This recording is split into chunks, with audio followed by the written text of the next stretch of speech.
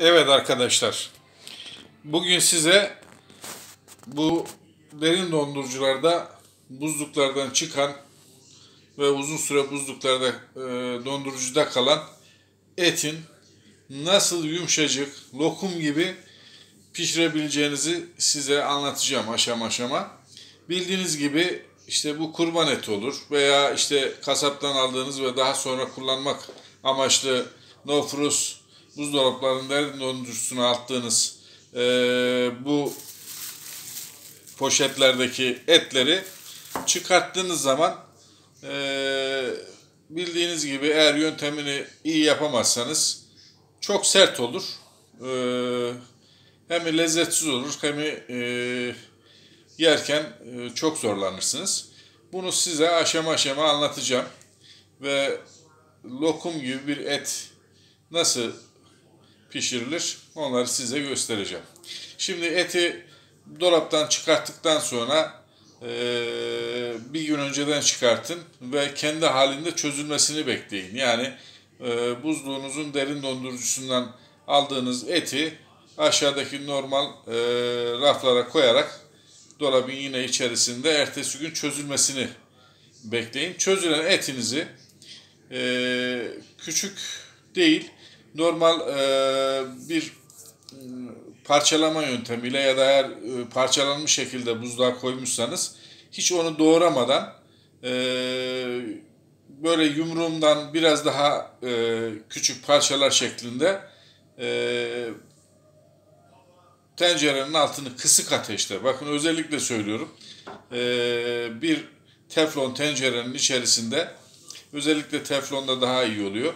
Teflon tencerenin içinde kısık ateşte e, yaklaşık kendi suyunu çekene kadar o köpüklü e, kıvamı gidene kadar e, kısık ateşte uzun süre pişirmeye bırak. Şimdi ben çıkarttığım bu etimi bir gün önce çıkartmış olduğum etimi e, tencereye aldım. Bu tencerenin içerisinde e, yaklaşık yarım saati geçti.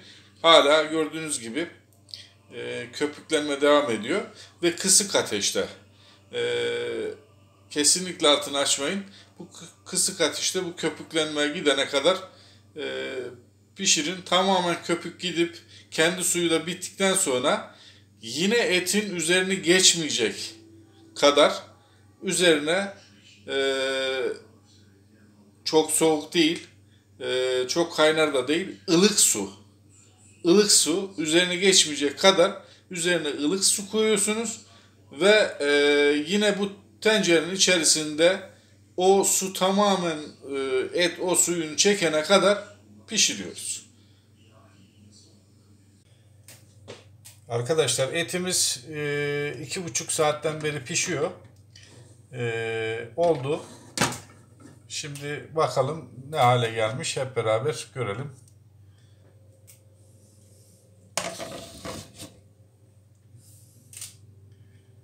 Bakın gördüğünüz gibi etimiz lokum gibi oldu.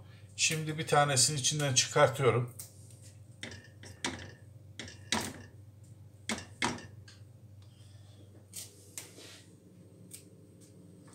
Elimle bastığım zaman bakın gördüğünüz gibi dağılıyor. Şimdi bu etle siz e, isterseniz Ankara tavası, e, ondan sonra e, tantuni, saç kavurma, yani aklınıza gelebilecek etle yapabileceğiniz tüm yemekleri yapabilirsiniz. Yani etimiz bu kıvama geldi. Şimdi e, bundan sonraki işlemlere geçelim. Şimdi bugün bu etle güzel bir saç kavurması yapacağız. Etlerimizi böyle ince ince doğruyoruz.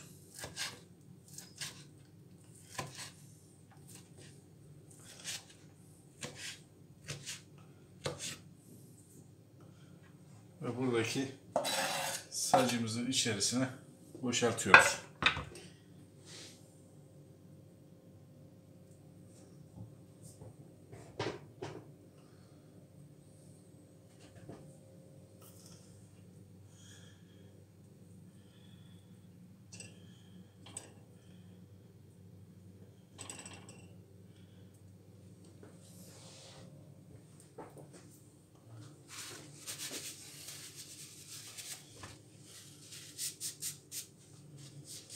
Şimdi arkadaşlar bu et doğradığımız tahtayı mümkün olduğunca kullanmıyoruz.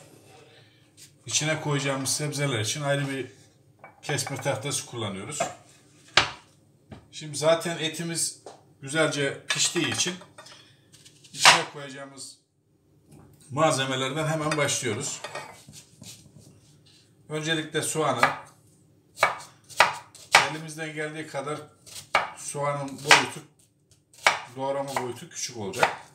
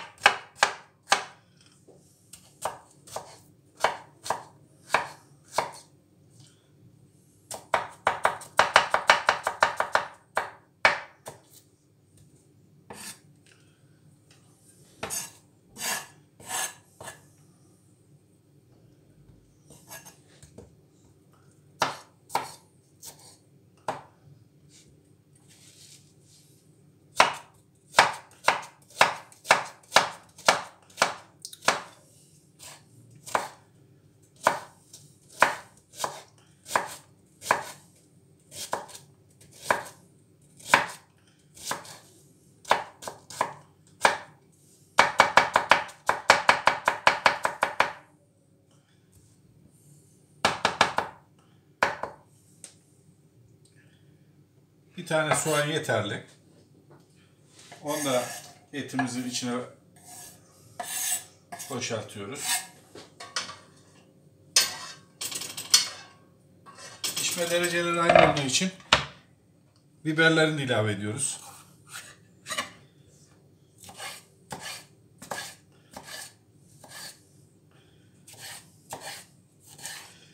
Biberleri de soğanımızın boyutunda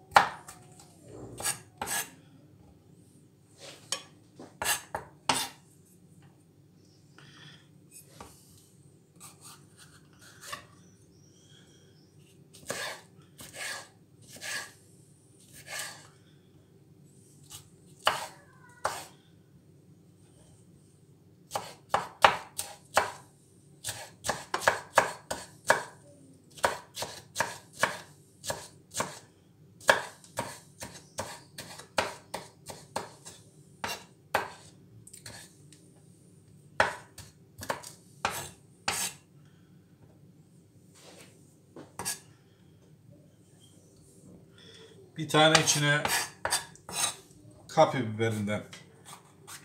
Bunların hepsinin dediğim gibi pişme derecesi aynı olduğu için aynı anda konabilir.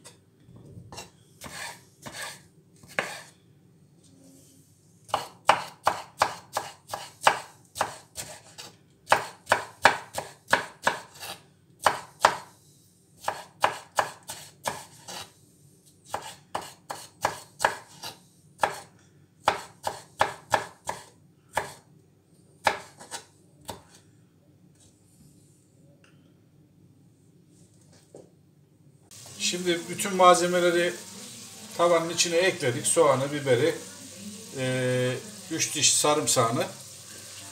Etimizi güzelce kavurmaya başladık. Etimiz yavaş yavaş kavrulmaya başladı. Nefis kokular gelmeye başladı. Şimdi bunun e, bu aşamada baharatlarını ilave edeceğiz. E, ben kaya tuzu kullanıyorum. Kararınca.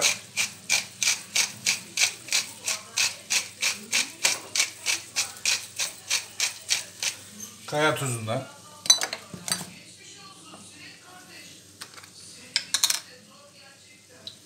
Bir çay kaşığından biraz az kimyon. Çok yakışıyor. Yine bir çay kaşığı karabiber.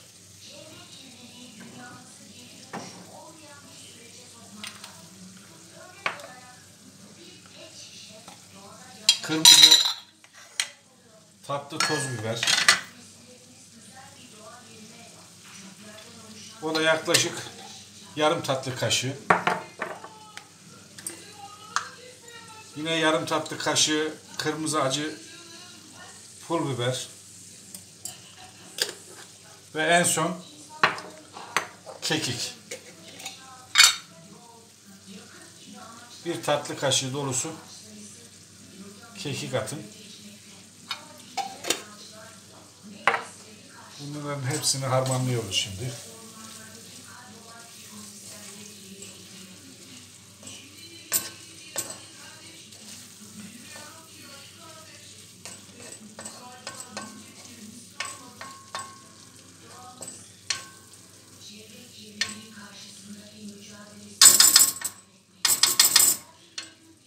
Ben domates de olur. Yani domatesler bu mevsimde çok iyi olmadığı için yaz domatesine yaptığım sostan kullanıyorum. Siz yoksa sosunuz domates de kullanabilirsiniz.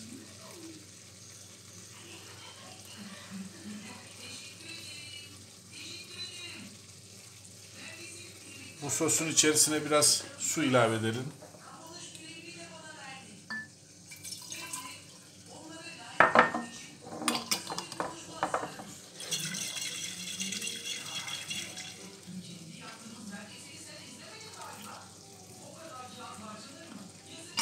Bunu da tenceremizin, tavamızın içine boşaltalım.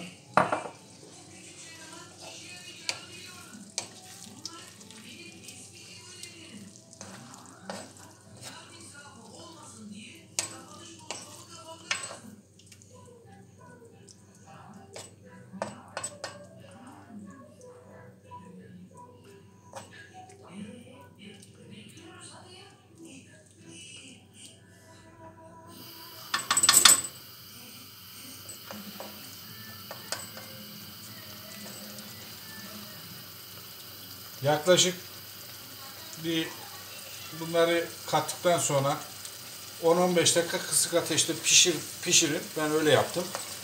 Şimdi kısık ateşte pişirdim.